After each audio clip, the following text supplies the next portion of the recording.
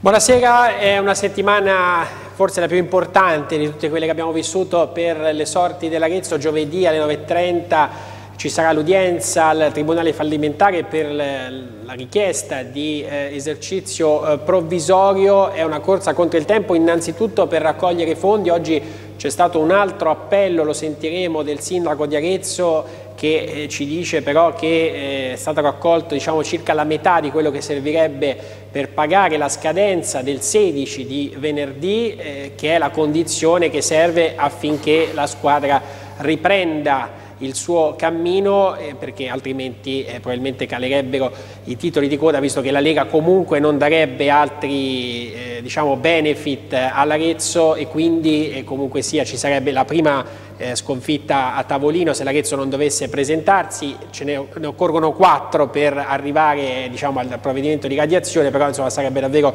l'inizio della fine. Eh, ovviamente eh, si spera che accada qualcosa in questi giorni, mentre da Roma sentiremo anche le parole di Gatto, di Neos, che continua a dire, malgrado finora di questi annunci non ce n'è stato al momento uno, che sia, a parte che debiti, alcuni debiti che sono stati pagati, eh, però gli altri annunci sulla cessione non sono mai stati eh, formalizzati e lui dice domani ci sarà questo annuncio. Io saluto Mario Tralci, consigliere regionale della FIGC, buonasera Mario, bentornato, eh, poi con te eh, vedremo più tardi anche alcune immagini della bella esperienza eh, che hai avuto all'UEFA e del sorteggio che c'è stato eh, di questo importante evento a livello giovanile. Saluto Mirko Latorraca, benvenuto, che non solo allenatore ma anche eh, segretario comunale di Fratelli d'Italia, perché Fratelli d'Italia? Perché è stato, diciamo, possiamo dire, l'unico movimento che a dicembre quando tutti osannavano Matteoni, l'unica nota diciamo, che era arrivata da Francesco Lucacci che aveva fatto diciamo, un'indagine anche a livello di visure eccetera e aveva detto che no, c'erano dei, dei, dubbi, no? comunque di, che le cose non erano chiare.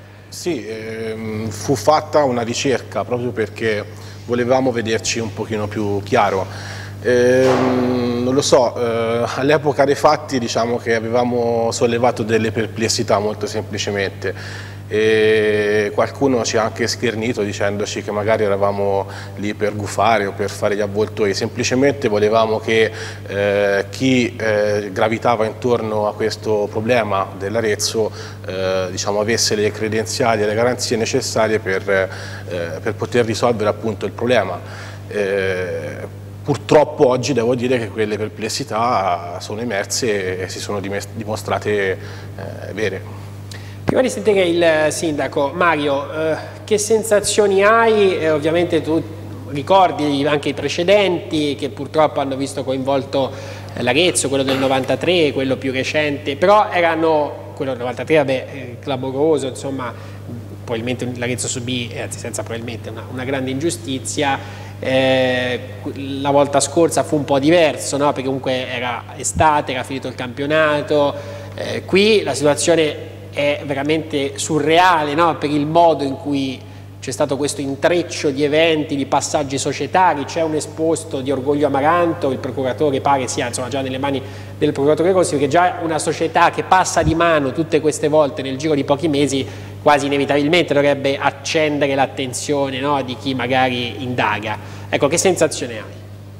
Ma innanzitutto la sensazione di essere qui questa sera a commentare un fatto così mi lascia veramente a disagio perché vorrei essere qui a parlare dell'Arezzo, dell'aspetto tecnico, dell'aspetto delle gare, delle partite e magari con qualche soddisfazione in più riparlare nuovamente di una situazione così dove addirittura la federazione ha cercato in qualche modo di venire incontro e di aiutare perché un secondo eh, caso come è stato quello di Modena creerebbe grossi problemi, anche se è ancora peggio perché l'Arezzo in questo momento il giro di ritorno sappiamo che non si azzerano tutti i risultati conseguiti come è successo con il Modena, ma rimangono i risultati eh, fatti sul campo. Quindi questo mette a disagio anche l'organizzazione perché comunque qualcosa che non ha funzionato c'è.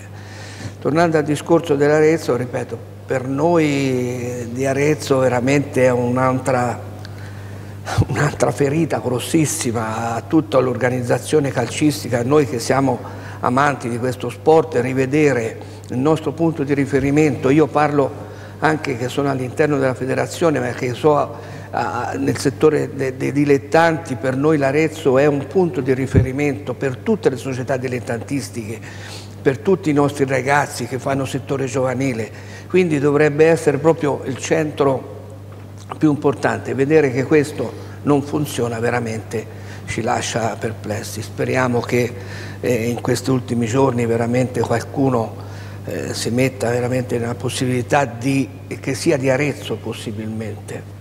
Questo lo, lo ritengo perché quello del, di Roma è, sono film già visti, già rivisti, che abbiamo ormai, si sapeva questo passaggio di mano continuo, ormai è, è è una cosa che sapevamo tranquillamente, poi la fine è questa, quindi diamoci da fare gli ultimi giorni, fra tutti, in primis il sindaco, a cercare di aiutare questa, questa Arezzo di sollevarsi e di finire almeno il campionato per poi avere più tempo per gettare delle basi importanti. Allora, sentiremo adesso il sindaco perché mh, oggi oltre all'appello diciamo, c'è una dura presa di posizione eh, nei confronti di un articolo che oggi è apparso sul quotidiano La Nazione, eh, articolo del collega Salvatore Mannino che in sostanza citando autorevoli fonti giudiziarie eh, ha scritto prima che eh, difficilmente comunque, poi Mario dici se anche tu sei anche un imprenditore, no? eh, difficilmente o, o forse è impossibile che giovedì ci sia il verdetto, cioè giovedì secondo te si può sapere se questo esercizio provvisorio viene concesso o di solito il giudice si riserva? Questo dipende dal, dal giudice logicamente, io nel, nel, nella situazione tecnica non lo so però è chiaramente il giudice che deve esprimersi se può concedere o meno, ma lui lo concederà solo nell'ipotesi che certe spese siano coperte da, da orale a fine del campionato perché non può permettersi il lusso di avere di dare una gestione e poi di fare ulteriori debiti. Quindi sicuramente lui deve, vuole avere delle garanzie eh, qui da, da 15, dal 16 in poi che ci siano delle, delle persone o comunque esso sia che danno l'opportunità di coprire tutta la gestione fino alla, al 30 di giugno di quest'anno. Quindi, eh, ripeto, auguriamoci che ci siano queste persone.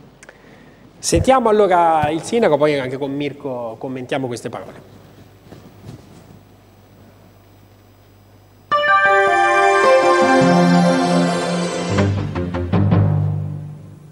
Oggi nuova lettera aperta del sindaco Ghinelli, in particolare dopo un articolo uscito oggi sulla Nazione. Ecco, perché questo nuovo messaggio? Ma il messaggio sostanzialmente è un po' per non dare come per acquisita la, soluzione, la, la, dire, la, i fatti che sono stati riportati dal giornale della Nazione circa la eh, quasi impossibilità o pratica impossibilità di arrivare a un esercizio provvisorio in maniera rapida da consentire il pagamento entro il 16, quindi eh, volevo e desidero dire, dare, dare tranquillità a chi è ancora disposto a finanziare questa operazione che l'operazione è possibile, difficile, difficilissima quanto vogliamo, ma è possibile, altrimenti non saremmo qui a perorare per far sì che ci fossero ulteriori eh, versamenti da parte degli imprenditori. E quindi qui il secondo punto, anzi il primo, quello principale, che io avevo già in mente prima ancora di leggere i giornali questa mattina, che era quello di fare un, un appello attraverso i mezzi di informazione per far sì che anche tutti coloro che non ho contattato, e sono certamente molti di più rispetto a quelli con cui ho parlato, parlo di imprenditori, professionisti, eh, esercenti, diciamo, soggetti che eh, eh, svolgono l'attività economicamente rilevante nel nostro territorio, possano contribuire con un versamento in un apposito conto corrente che, di cui ho dato le coordinate diciamo, attraverso un versamento corporate, cioè un versamento da 1000 euro in su, che può essere o eh, anche, se, anche cospicuo se il soggetto ha in qualche modo intenzione di entrare nella società o vuole svolgere una sponsorizzazione importante, ma se così fosse stato avrebbe già parlato con me, ma anche diciamo, soltanto per sostenere, per sostenere la nostra squadra. Ora io credo che una città come la nostra, che è una città produttiva, che ha il PIL più alto della Toscana meridionale, possa tranquillamente trovare questi 370 mila euro che servono per il 16 di marzo e per continuare a sperare nel futuro della squadra di calcio della, eh, della nostra città.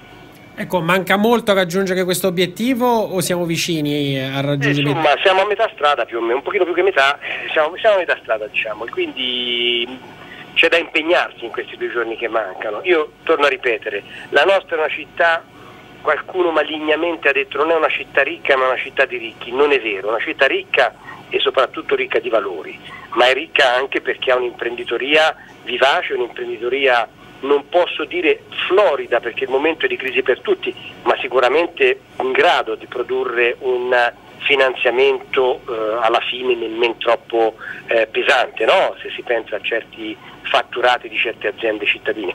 Quindi io ringrazio chi ha già fatto e stimolo sinceramente chi non l'ha ancora fatto a darci una mano per arrivare a salvare la scuola. Ecco, in questa metà è già calcolato anche diciamo, quegli imprenditori che fanno capo a Pieroni? Sì, assolutamente sì, è, tu, è, tu, è chiaro, eh? è chiaro, ci sono anche loro dentro. Perfetto. Io non posso guardare in questo momento troppo a chi mi mette in mano dei soldi, bruttissima espressione, però è così.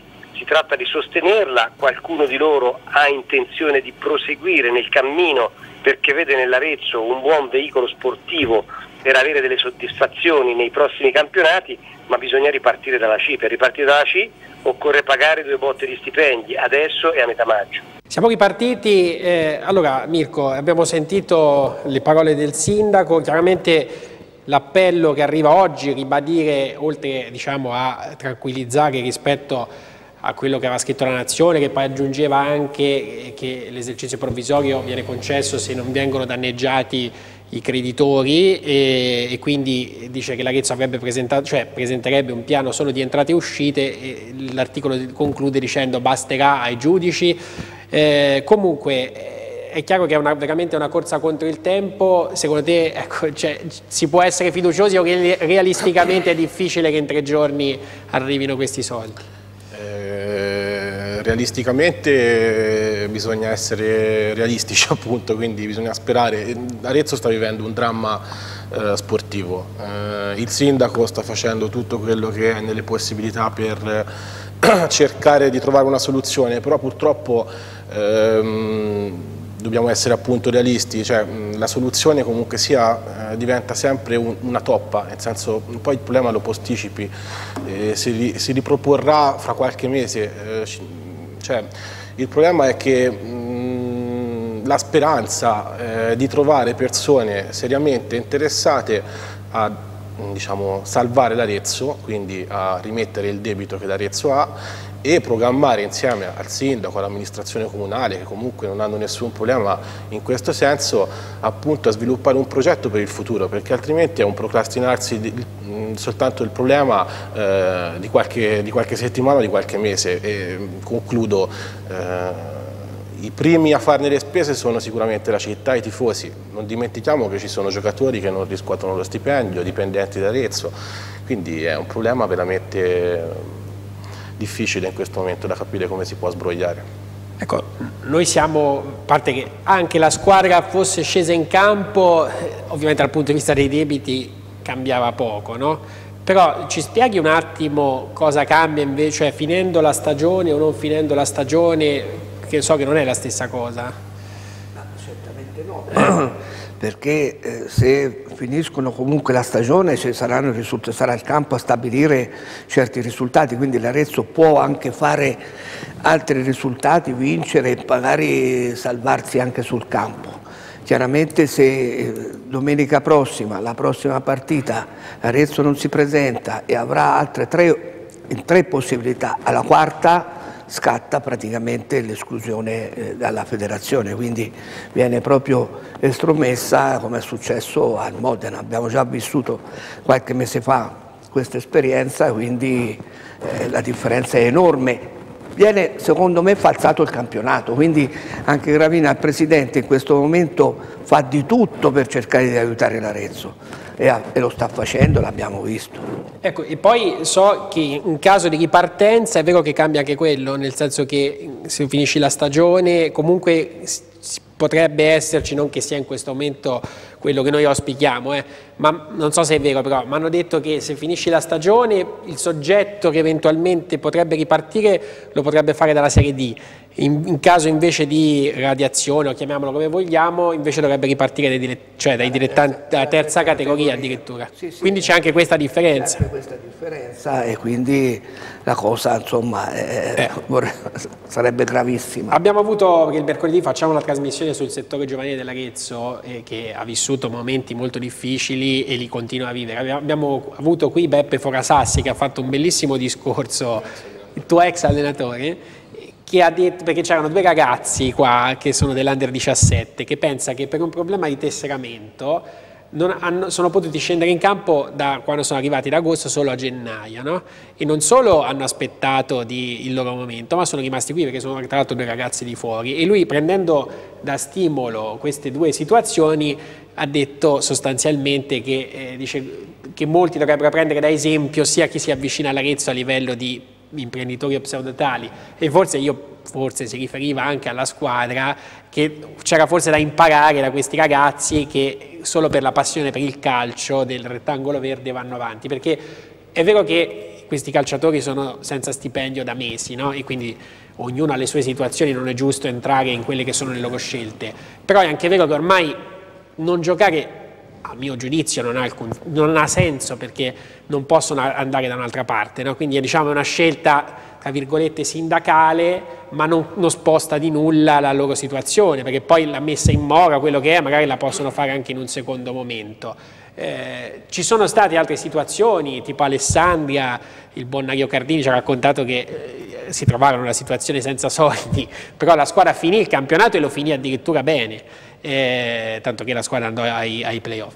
Eh, quindi quello che chiedo, noi diamo per scontato ecco, che la squadra è, ecco, secondo te un appello invece anche alla squadra perché almeno darebbe forse qualche spiraglio in più, non lo so.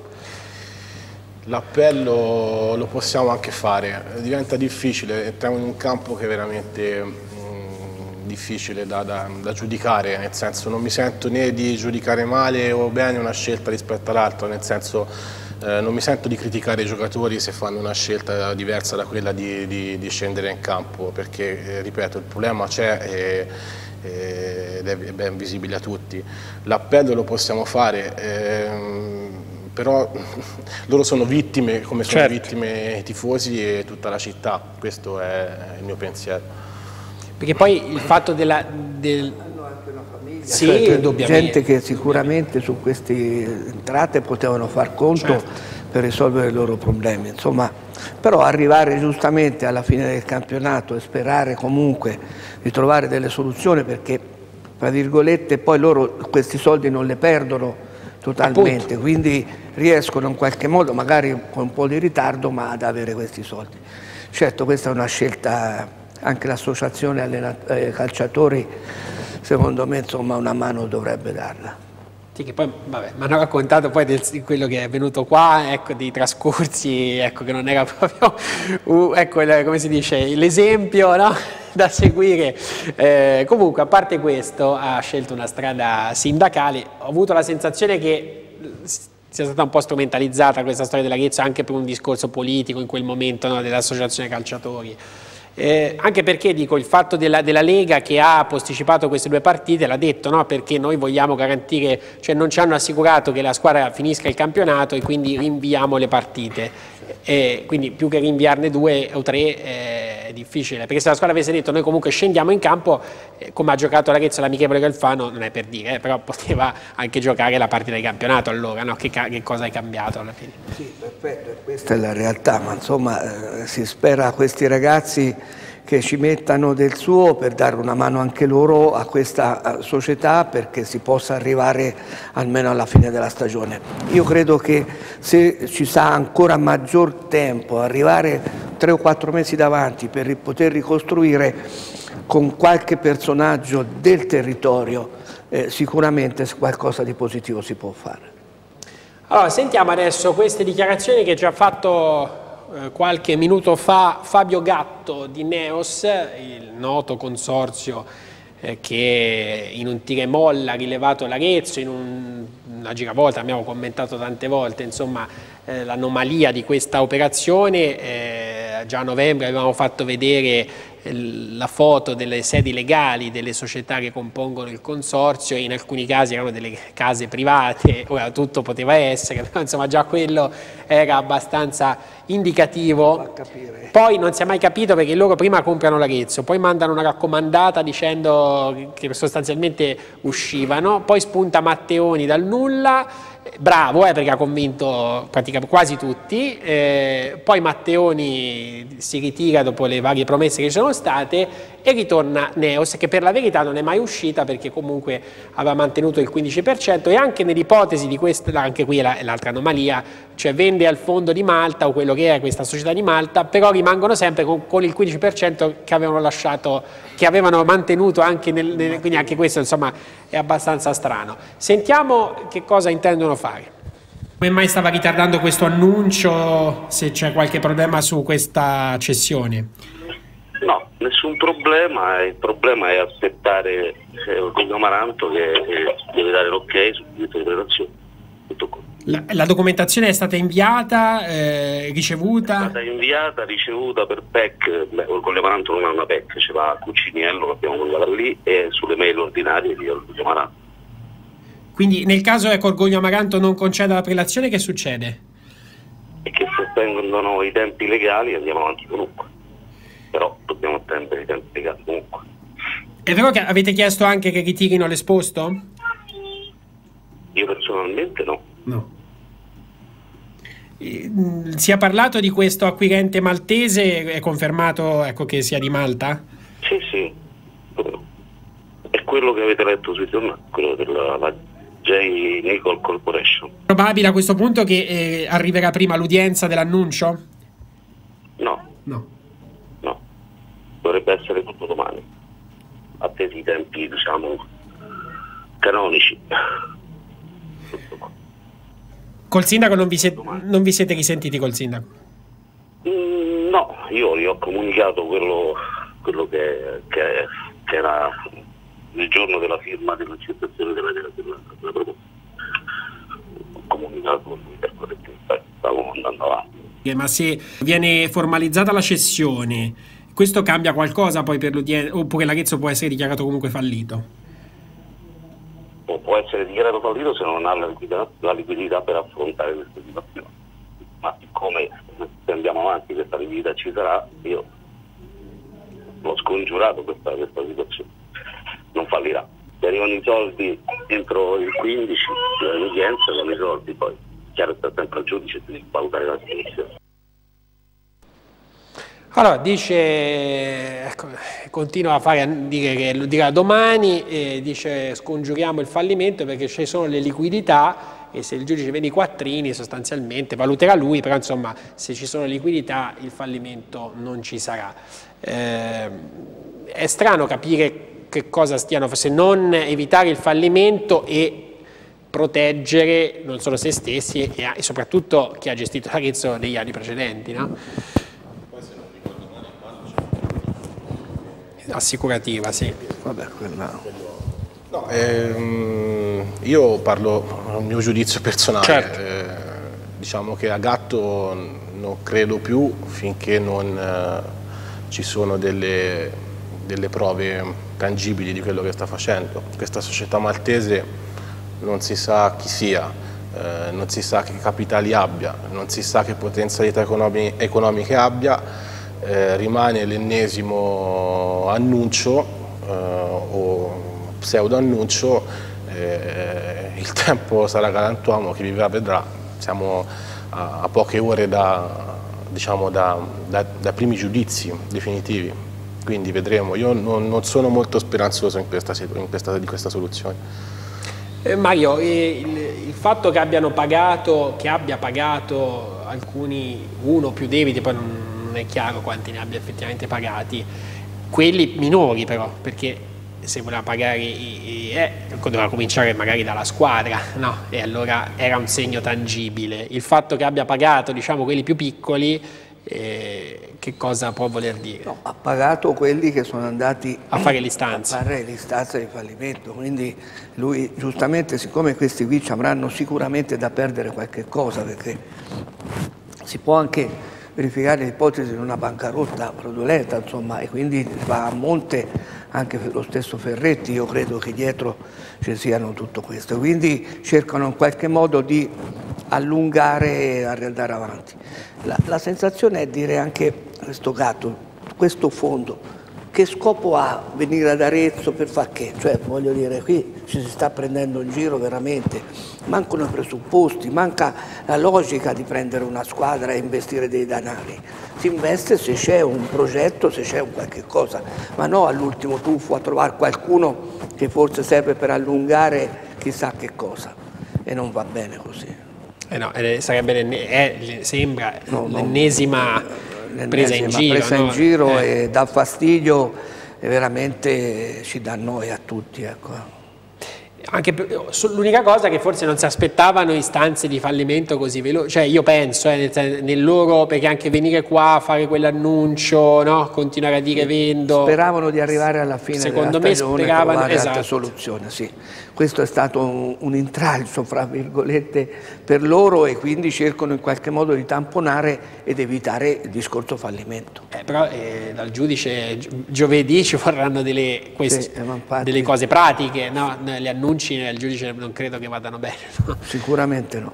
E quindi insomma è, è, una cosa, ecco, perché poi si dice spesso Mario, no, la, la federazione, la Lega non dovrebbe, però visto molte critiche si leggono, non dovrebbe permettere a questi qui avventurieri di fare, però come fai a o metti dei paletti però ancora più stringenti, però eh, poi chi li controlla, siamo sempre lì, no? Sì, la situazione, insomma, eh, io parto sempre dal Modena, Arezzo, ma dietro ci sono tante altre società in Lega Pro che hanno grossissime difficoltà ad arrivare al 30 di giugno, eh, non, non, guardiamo che eh, purtroppo gestione, i costi di gestione sono altissimi e di questo si entra in un argomento che a me, io dico sempre, lavoriamo sul settore giovanili, non deve essere il settore giovanile dell'Arezzo un settore giovanile solo per tamponare perché la Lega ti impone di fare certe categorie, no, di crederci, di prendere qualche ragazzo, il territorio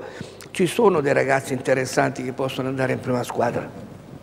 Io non mi stancherò mai di dirlo, essendo io nel settore dilettantistico, curando i vari campionati eccellenza e promozione, un Settembrini che io sabato ho visto in televisione, mi sono visto tutta la partita del Cittadella con un Settembrini che l'avevo nella rappresentativa, ragazzo che nasce qui ad Arezzo, che ha giocato nella Sansovino, che ha giocato come si fa a farli? Martinelli che è nel Prato? Volevo dire, tutti i ragazzi che nascono dai settori giovanili delle nostre squadre dilettantistiche non si sono nemmai presi in considerazione, non, nessuno che prende, bisogna far venire per forza gente da altre, da, da, da altre città.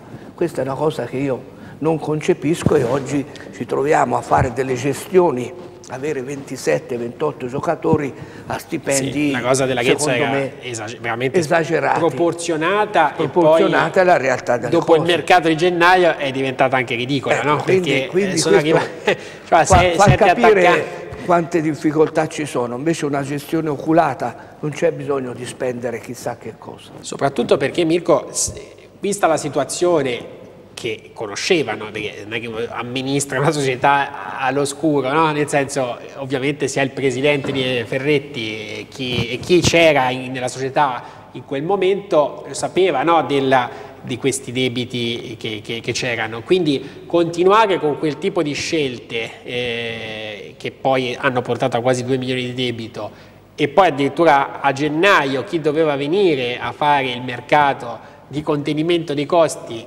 parole di Matteoni li ha lasciati uguali e io dico forse che sono anche aumentati e forse anche qualcuno ovviamente ci ha lucrato, è molto probabile. Eh, ecco, si poteva evitare in, in vari punti, no, in varie tappe questo epilogo. Sì, si poteva evitare, però io, permettimi una parola, sì. concordo con Tracci perché anch'io poi... Vengo diciamo, dal mondo dilettantistico, ho fatto il settore giovanile nell'Arezzo, ho avuto questo privilegio, questa fortuna.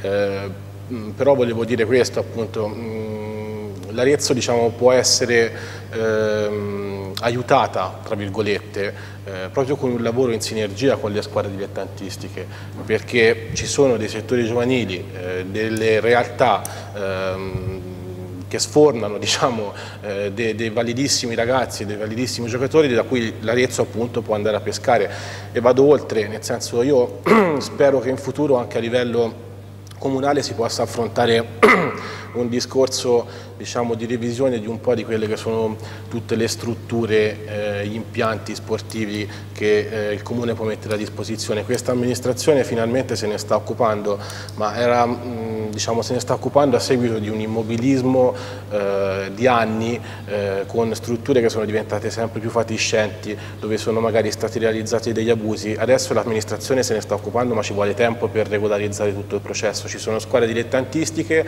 che vorrebbero eh, diciamo, eh, iniziare eh, quindi come start-up oppure già in essere che vorrebbero eh, incrementare o appunto iniziare un settore giovanile quindi affrontare questo discorso a 360 gradi eh, a livello dilettantistico quindi come infrastruttura per poi far sì che una società sana con un progetto sano possa lavorare in sinergia con, eh, con queste squadre.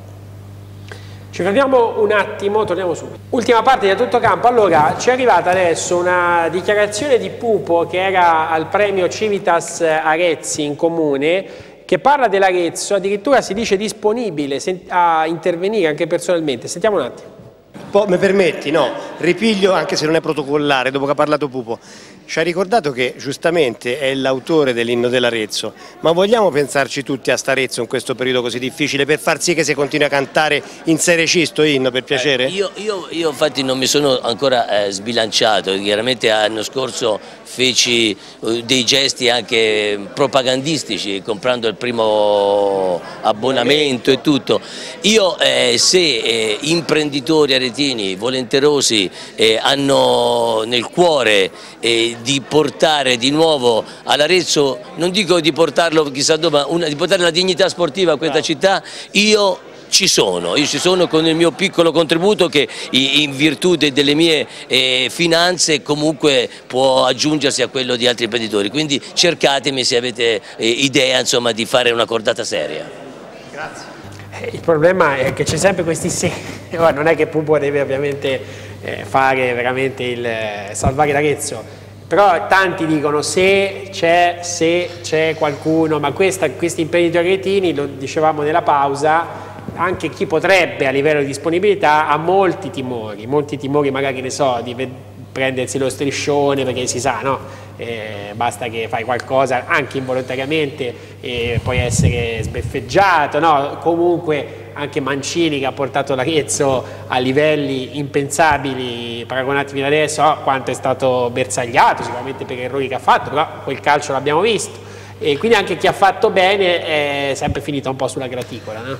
Ehm, allora, chi fa calcio ovviamente, cioè chi vuole far calcio non può pensare a quello che possono essere eh, eventuali futuri eh, diciamo, accuse o, o, discriminazioni varie. Chi ha voglia di far calcio lo deve fare, le critiche fanno parte di questo gioco. Ehm, esprimo un'altra considerazione personale, eh, se devo sperare in qualcuno mi fido più di Pupo che di Gatto, insomma. ah beh, certo. eh, spero che magari la sua dichiarazione possa essere diciamo, da apripista per qualche imprenditore eh, di Arezzo appunto per unirsi a questo invito. E tra tu Mario eri stato tra i saggi, vero, la scorsa volta, i famosi saggi, sì. no, che sì, avevate sì. un po' diciamo, dato indicazioni alla precedente amministrazione sì, Fanfani. Fanfani, sì, con la De Robertis ci chiamò, c'ero io, c'era Graziani, eravamo un 3 o 4 a... perché c'erano in quel caso delle offerte, quindi volevano comprare l'Arezzo. Quindi il sindaco praticamente chiese a noi di valutare questo tipo di di domande e fare una scelta qual era la più, eh, era più attendibile a questa situazione. Era più facile perché si partiva da zero, partiva cioè nel senso non era tanto, era mettere insieme si un qualcosa dalla di nuovo, serie D, dalla serie D senza pagando, debiti. Eh. Senza debiti, però pagando in quel momento lì c'erano 300 mila euro che la federazione voleva per ripartire dalla Serie D. E poi venne fuori Massetti, Massetti che, che poi salvò personalmente l'ultimo aretino perché poi da lì si passò a Severini e guarda Romani, comunque l'affare di Pupo mi è piaciuto, è piaciuto? Cioè, nel senso che ecco, è già uno che si espone in prima persona che dichiara io ci sono, sono qui mettiamoci a tavolino magari fossi il sindaco lo prenderei come punto di riferimento, è un'organizzazione in questi tre o quattro giorni per essere un punto di riferimento per tutto il territorio. E è bello perché essendo uno di Arezzo che almeno ci sta mettendo la faccia in primis. Allora Mario, in conclusione adesso vedremo delle delle, degli scatti che ti riguardano perché eh. sei andato nella sede dell'UEFA, eh, raccontaci ecco, brevemente come è andata che ce l'avevi annunciato la scorsa volta. Sì, era l'appuntamento dopo le vittorie a livello eh, juniores, a campioni d'Italia sia per questa stagione che nella precedente stagione, non questa attuale, eh, nelle due precedenti stagioni sportive siamo stati dalla Lega Nazionale Dilettanti eh, praticamente si rappresenterà l'Italia al prossimo torneo della Region Cup in questo caso siamo stati a Nyon, dove sono le, le, qui vediamo proprio con il presidente Siviglia e il presidente regionale Mangini, eravamo lì a Nyon per il sorteggio, noi praticamente abbiamo fortunatamente eh, superato il, il torneo il preliminare perché essendo un test di serie numero 5 insieme alla Russia, alla Germania e siamo passati direttamente al torneo intermedio. Queste qui siamo 32, 32 nazioni suddivise in 8 gironi da 4 e le vincenti andranno poi a, nel 2019 a fare la, le finali, quindi verrà stabilito dove. Il sorteggio è stato abbastanza mh, discreto, fra virgolette, c'è la, la, Polonia, la Moldavia e la Svizzera. E per quanto riguarda l'organizzazione, l'UEFA ce l'ha accettata a noi, l'organizzeremo noi in Toscana e se mi riesce sto già lavorando per portarlo qui nella zona dell'Arretino fra Arezzo e Siena, ah, per riuscire bello, a poter organizzare questo torneo UEFA con queste quattro, insomma, eh, con altre tre nazioni, quindi sarebbe una bella cosa. Eh sì. Per me è il massimo perché insomma di fatto si rappresenta l'Italia, rappresentiamo l'Italia a questo torneo e quindi la Toscana sta toccando i vertici veramente impensabili, quindi ci fa molto piacere.